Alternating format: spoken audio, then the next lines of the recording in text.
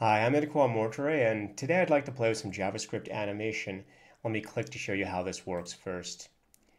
I'd like to show you a little bit about how I did that. This is some of the work I used to do at Fuse, and I'm just experimenting now with JavaScript and CSS. And I'd like to go through the code briefly as to how you set up such a transition. So the basic setup of this page is a standard HTML document, and I've just inlined the styles and and the body and the JavaScript all in one place. I will provide the source code for this in a link on the video. But let's look at the basic setup. I have the body, I was playing with an image before I left this out, and I have this SVG bit, and this is the part that's actually drawing the spiral. So when I draw the spiral, this is an SVG, and there are a couple things that are happening here. I'm both creating a spiral effect and I'm animating it. But the actual HTML is very limited. I just have the SVG I just have the path. In the JavaScript code, I'm assembling the SVG, so I create the path and attach it to the SVG, and this is what creates the spiral as there is no native spiral effect. Let me simplify this first so we can see a little bit clearer what I'm doing. So if I remove this circle here, and instead of using what I call the nuanced path, I'm going to use the basic path. This gives us a slightly different effect than what I had before. So when I reload this, this gives this more of an effect. And at first it may look better in the middle, but you quickly see the problem. It's a little bit jagged on the sides. It's not a true spiral, and it leaves us a little bit in the middle. And I'll get to that little bit in the middle somewhat afterwards. so let's first of all see what am I doing to create the spiral?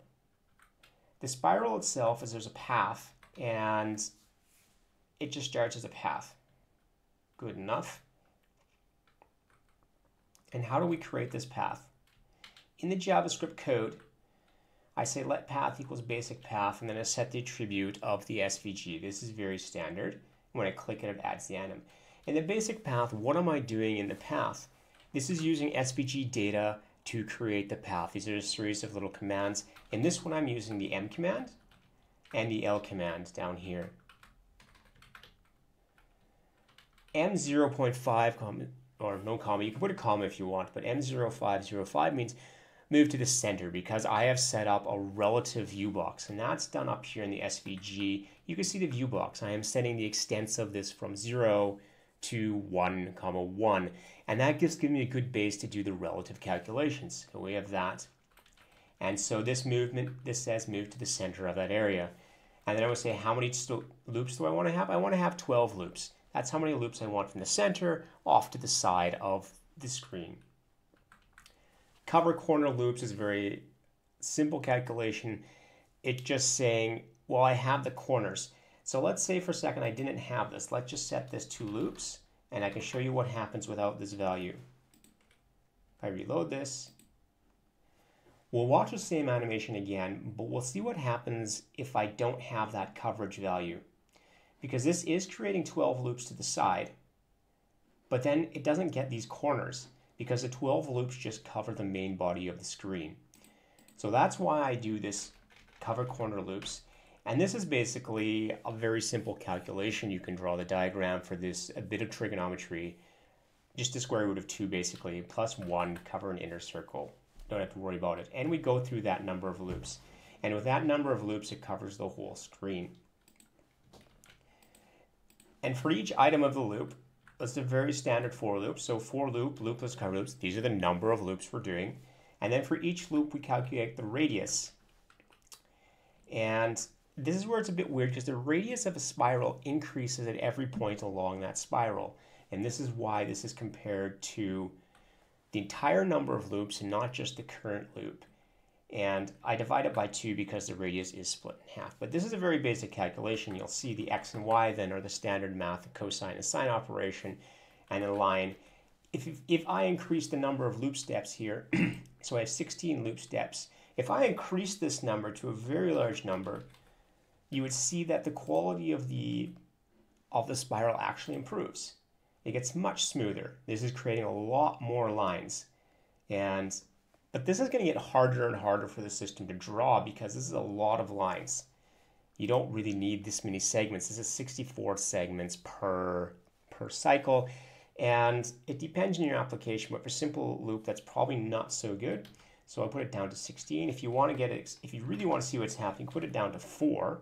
Then this gets a little bit excessive, and then you get a very balky effect. So this makes it very clear what the number of loop steps is doing is how many points in the loop is it going to cover.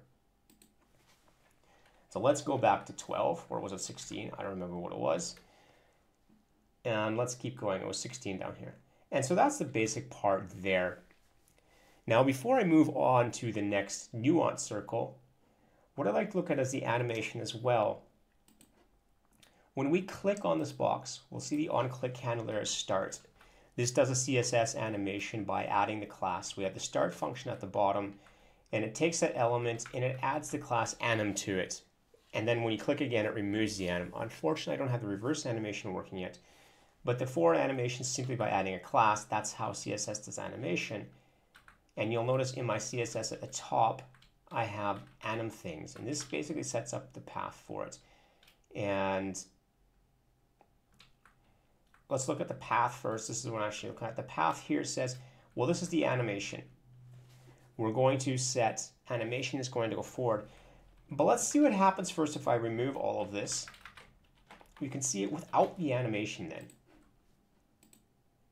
And apparently not. Apparently I have to get rid of something else. Anim path. All right, so I'm going to have to set the initial stroke width to, let's say, 3 or 4. Oh, that's too wide. All right, that's too wide because I'm doing it on a grid of 1 comma 1. There we go. So this is without the animation. This is just what it looks like in the end. So this is the static form of this. And the animation just says, well, let's modify this. We're going to do it just a little bit here. And the reason I was looking at this is this, in these animations, not the animation is interesting, it's this dash array and dash offset that was of interest to me. This is the type of work I did at Fuse. The last thing I did there was to create partial line animations, and this is what these do. Without getting too into the details, the offset says where do I start drawing the line, and the dash array says which chunks do I actually draw. And you can look at the documentation for these. They're not exactly the clearest things to use, but they basically say, well, I'm not going to draw the full curve.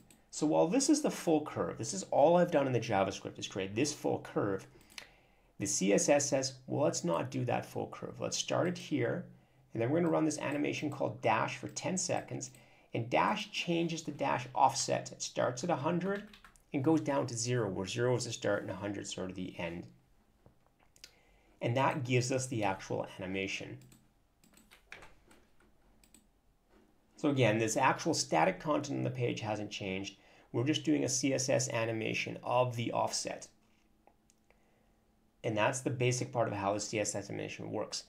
Now, so we have two issues here. The first issue was that it's kind of blocky and we don't want to increase the number of segments.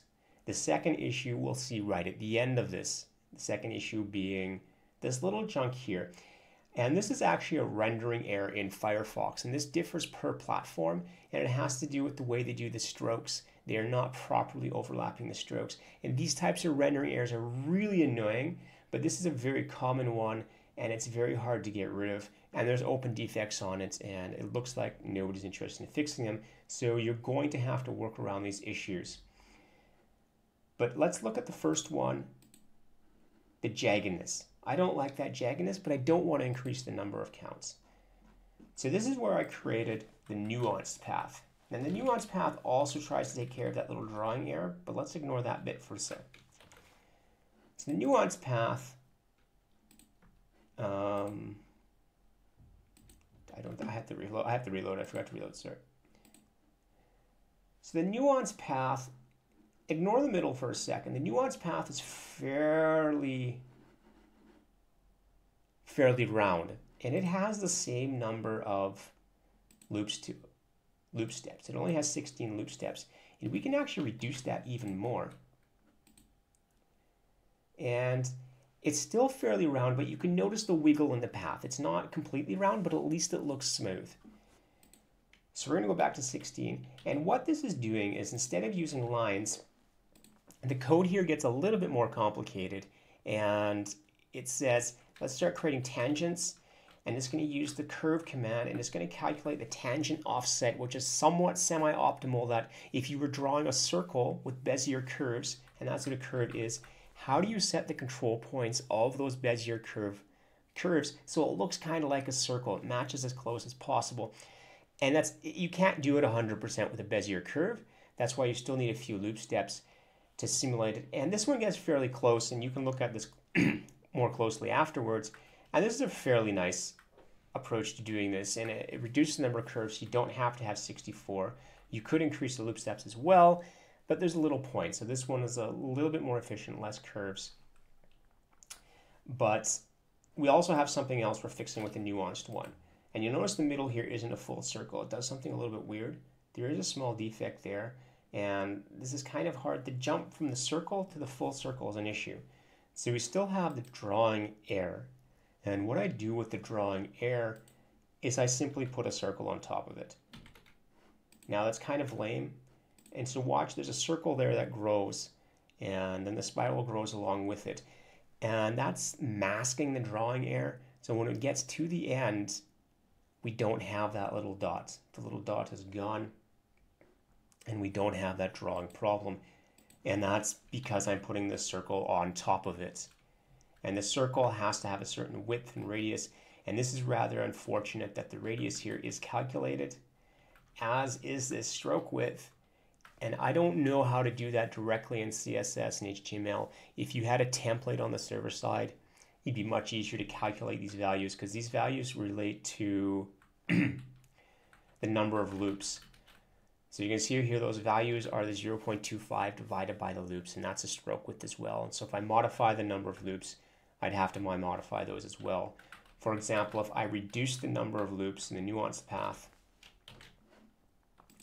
refresh that, First of all, the radius is wrong and the stroke width also will not cover the entire screen anymore. And that's how I'm covering, making it wider. It's going to be partial and you're left with this. So those values all tie together. And if you're doing this by hand, you'll have to beware this. If you're doing a server-side template, which you most likely are for any kind of web app, then you have to calculate these values in the CSS and the HTML and the JavaScript though perhaps you could stick a bit more in the JavaScript by just setting the attribute instead and then modifying the stroke width. So setting this all back to the way it was, let's take a look at the animation one more time. So it's a simple spiral. You may want to use this type of effect for a transition between two scenes, between two screens, making images come and go. I did a quick demo here with a cat because everybody likes cats if I can get the control shift D to not work. So let's get the cats again here. And so if you had an image on the screen and you wanted to fade it away, this type of effect could be used that. So we click that and watch the cat slowly fade away. We get a spiral, it starts covering the cat. And the alternative is to try and reveal a cat and that one would be working the opposite way. And there's many options to do this. Okay, I'm gonna throw this code up on somewhere, and then I'll put a link to it in the description. Please be sure to follow me on Twitter, and if you like my videos, subscribe to my channel and subscribe to me on Patreon. And I hope you found this video interesting, and I'll be sure to do more. Thank you.